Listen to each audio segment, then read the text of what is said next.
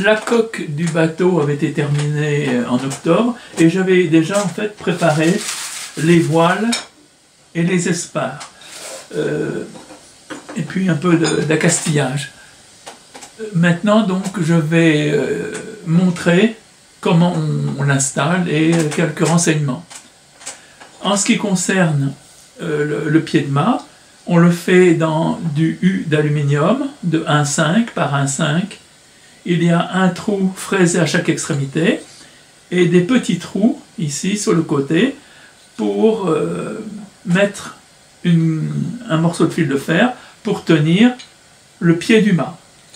Il faut mettre le trou ici assez bas pour que le mât puisse s'incliner.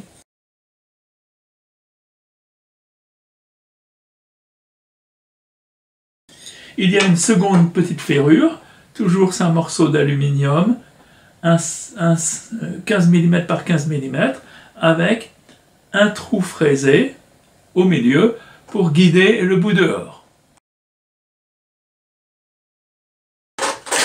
Voilà, on a mis le, pied de mât à peu près, le milieu à peu près à 15 cm. On pourra euh, avancer le mât ou le reculer. Et puis le guide, on l'a mis ici, juste à l'avant, il y a ici un petit crochet pour pouvoir maintenir le bout dehors. Voilà les, les espares. Donc le bout dehors fait 31 cm. Euh, l'extrémité arrière est laissée carrée. Euh, et puis il y a un trou ici pour pouvoir mettre euh, la goupille. Une autre un autre trou à l'extrémité, et puis il a été teinté et verni. La baume, ici, fait 33 cm. Il y a un vite mulet, c'est juste un petit, un petit piton. Et puis on a mis une protection en aluminium. Le mât fait 75 cm. Il y a euh, ici le vite-mulet tourné vers le bas. Il y a deux pitons ici pour euh, les drisses. On a mis ici deux petits pitons, c'est pour tenir les haubans. J'expliquerai euh, plus tard comment sont les haubans. Et puis, on a fait euh, un trou pour la drisse. Alors, en fait, avant de couper le mât, même couper tous les espaces, il vaut mieux les faire un peu trop long. Ensuite, essayer avec les voiles. Et une fois qu'on est sûr de la longueur, euh, on peut vernir. Euh, quelquefois, autrement, si euh, on a mis le vide-mulet un peu trop haut, si la voile est un peu trop grande, eh bien, on ne pourra pas étarquer. Donc, on l'a fait, personnellement, je fais un peu trop long, et ensuite, je coupe au moment où j'essaye les voiles. Débiter le bois de mature à la main. C'est un peu fastidieux.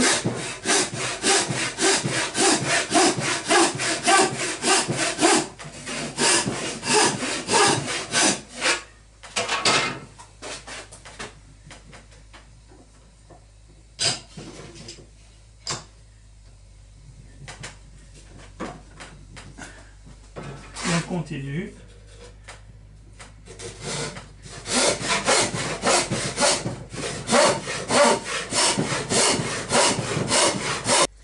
Ici, il fait 70 cm. On va commencer par l'affiner aux extrémités.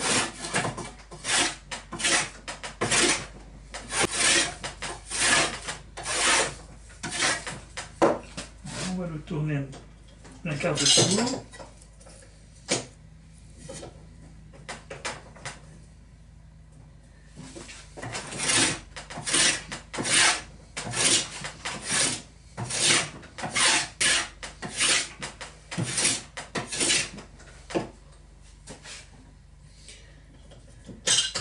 Et ensuite, on va abattre les angles. Donc en octogone.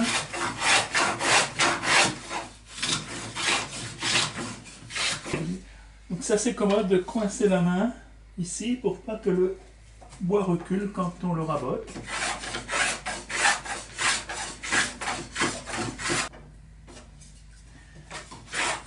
On va simplement laisser l'extrémité du bas carré puisque la pièce de pied de est carrée. Maintenant que c'est dégrossi, on va prendre un rabot plus fin.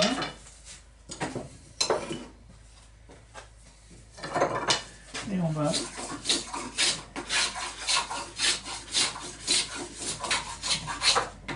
On fera de la même manière pour euh, le bout dehors pour les espaces.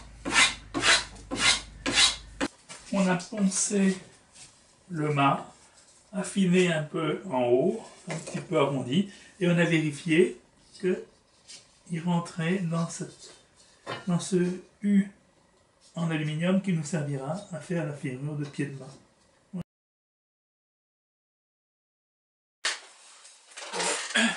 J'ai dégrossi déjà la baume et euh, je vais euh, enfiler un morceau euh, d'aluminium à l'extrémité pour pas que le vite mulet ait tendance à se casser trop facilement. Donc je vais affiner progressivement l'extrémité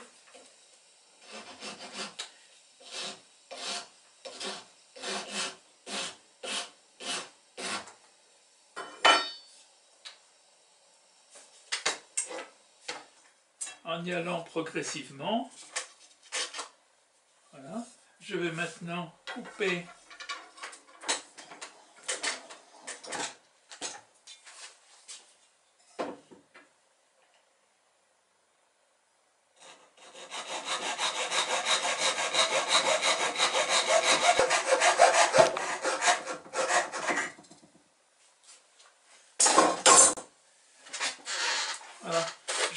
Donc ma ferrure, je vais bien limer proprement. Je fais une petite pièce comme ceci, que je vais enfoncer, ici, dans l'extrémité de la baume.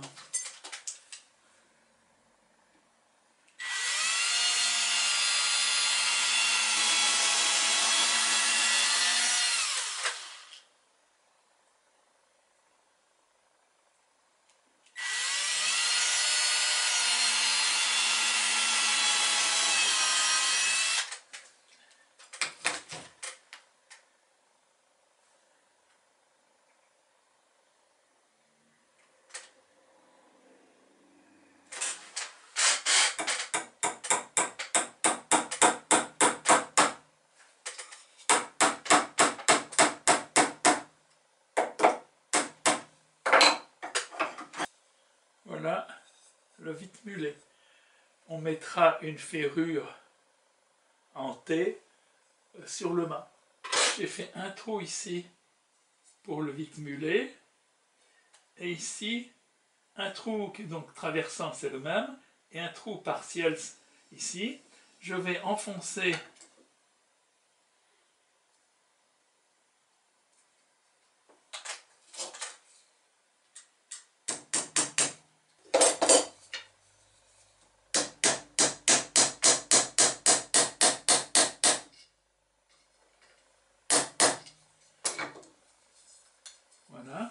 de ce côté-là, je vais plier.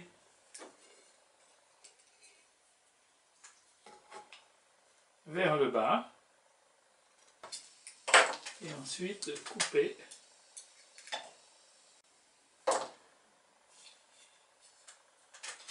Voilà donc mon vite mulet sera comme ceci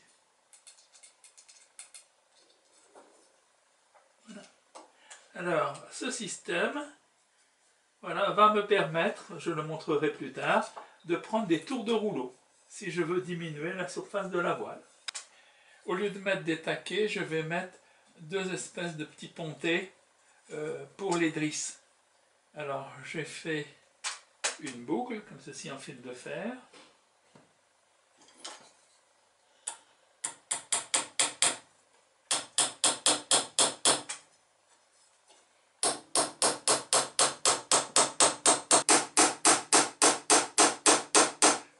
On, va l'enfoncer.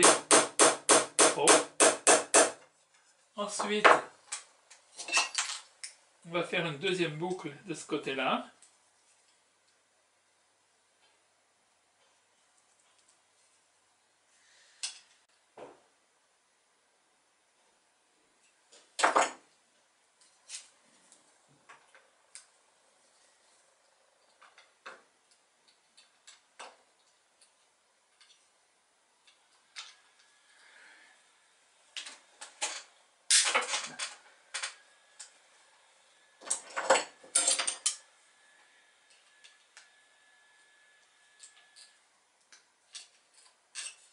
Et ensuite, on va repousser.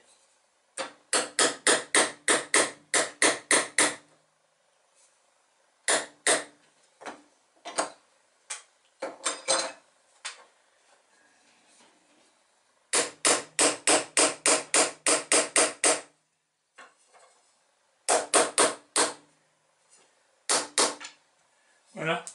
Et on obtient ainsi une boucle de chaque côté pour passer la drisse. Voici la grand voile. On l'a faite en, en toile de spi. On peut la faire en non tissé. Alors, si on veut lui mettre du rond ici, à ce moment-là, il faudra mettre, comme on l'a vu dans une précédente euh, vidéo, il faudra mettre des lattes. Et puis, voilà, on a le phoque.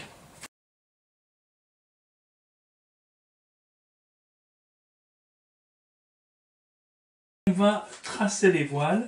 On a ici de la voile de spi très légère. En fait, c'est de la voile d'un spi qui est est abîmé. On a les gabarits des voiles qu'on a tracés sur des cartons. On pose les gabarits sur le tissu et on trace les contours en prenant une marge d'environ 1 cm tout autour. Pour couper le tissu, on prend un fer à souder qui a une panne plate. On prend une règle et normalement, en déplaçant assez doucement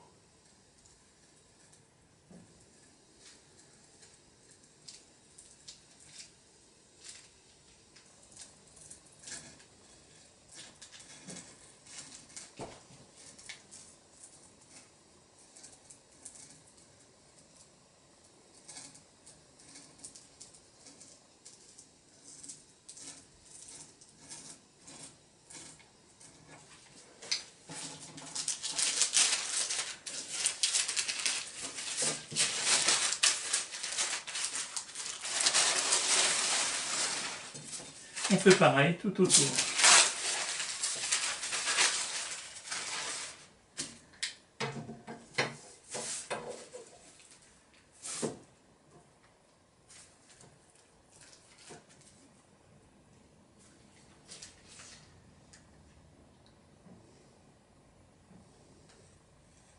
On a fait un ourlet simple avec une machine à coudre et maintenant il faut qu'on couse une petite estrope à chaque angle. Donc j'ai accroché le fil à coudre, c'est du fil à coudre les boutons, sur du fil à voile. Je pose au bord de la voile et en fait on fait des petits points.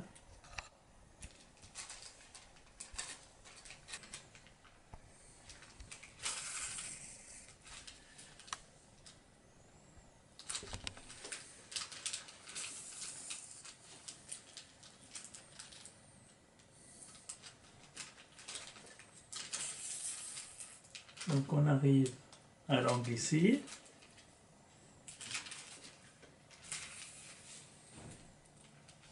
Là, on fait une petite boucle. Ici, ça va servir à accrocher le coin de la voile sur le vite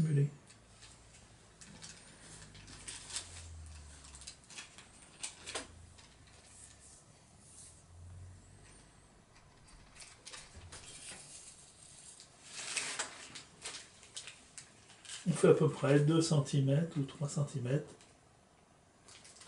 de chaque angle.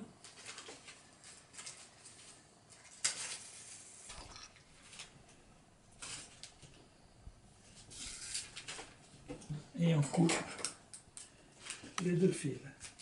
Ensuite, on va mettre un petit peu de colle super glue pour empêcher le fil de se défaire. Concernant le phoque, j'ai mis une petite estrope à chaque angle pour la mûre, pour la drisse et ici pour le point d'écoute. Voilà euh, le bas du mât. Donc on a ici le vite mulet tourné vers le bas. On a les deux pontées pour les drisses. On a tout en bas le trou pour la goupille. Ici, bon, les haubans sont déjà placés. Il y a deux pontées, ici et là, pour maintenir les haubans en position. On fera encore un trou un peu plus tard pour la drisse de phoque. Et en haut, on a le, trou pour la drisse de voile. On a les lestes donc, qui sont faits avec des plombs montres de 100 grammes ici, une deuxième paire et un boulon et un écrou de 4 mm de diamètre qu'on va pouvoir mettre sur, euh, sur la quille.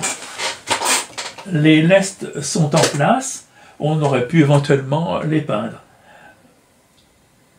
On verra si euh, le bateau est mal équilibré, on pourra toujours mettre des lestes un peu plus petits à l'arrière ou on pourra euh, éventuellement déplacer, ça fera juste un petit trou qui sera facile à boucher. Maintenant, tout est prêt, on va pouvoir gréer le bateau. Si on a une enclume, c'est mieux d'utiliser une enclume. Là, on a mis une massette qu'on a bien coincée. On prend les plombs ici 120 ou 125 grammes, là ce sont des plombs de 120, et avec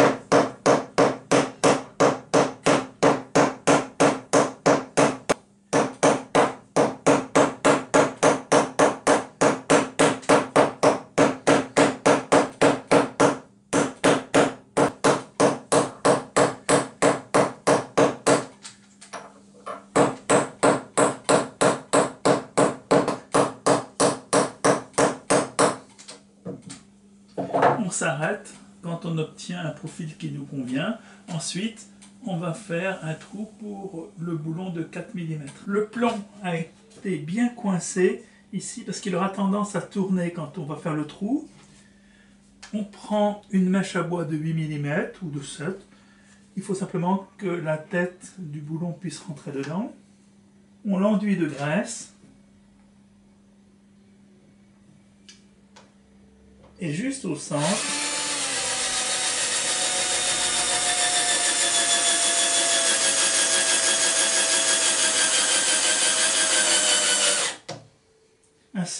On va voir l'alésage pour la tête et pour l'écrou. On va maintenant mettre une mèche de 4,5. On met également un peu de graisse dessus et on fait le fond.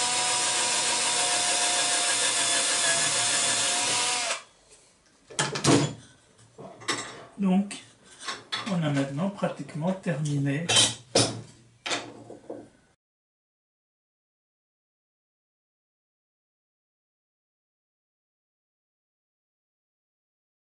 bout dehors est en place.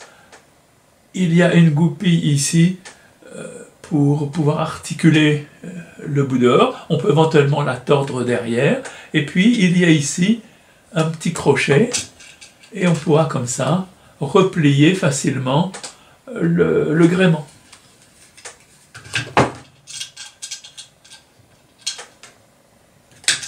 On va maintenant installer le mât. On a mis la goupille, on a mis le, mât à peu près au milieu ici, c'est-à-dire à peu près à 15 cm de l'avant. On a installé les drisses avec un tendeur et maintenant on va mettre le foc, ce qui permettra de tenir le mât en position.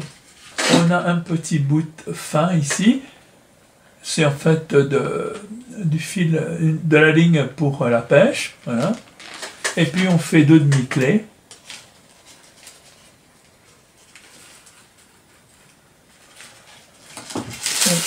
Maintenant, on va mettre, accrocher la drisse.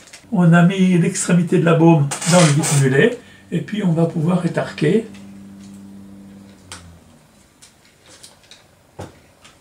Voilà.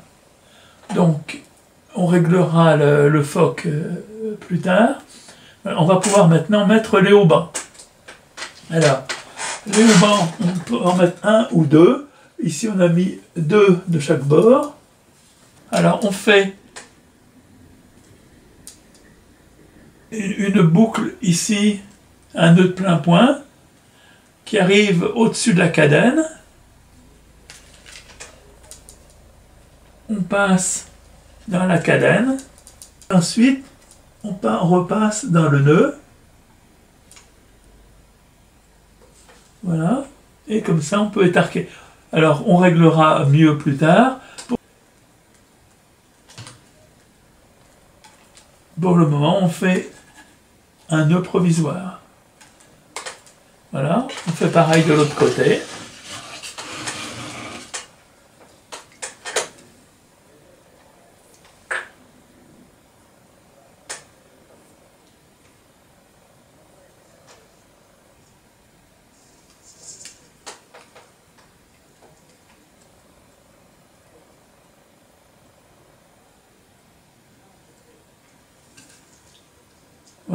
Étarquer.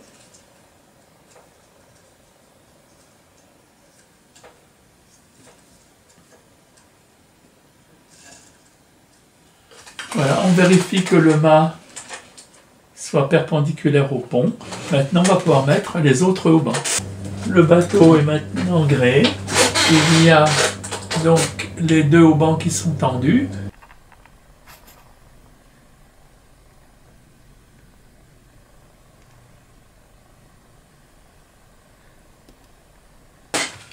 Voilà, donc le bateau est fini de gréer.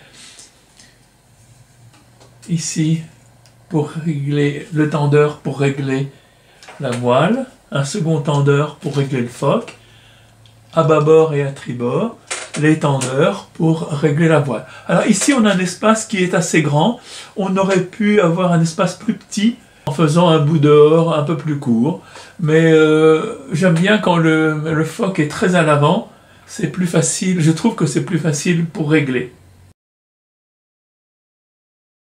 Pour terminer cette vidéo, je vais mettre quelques photos de la construction de bateaux de ce type par des enfants.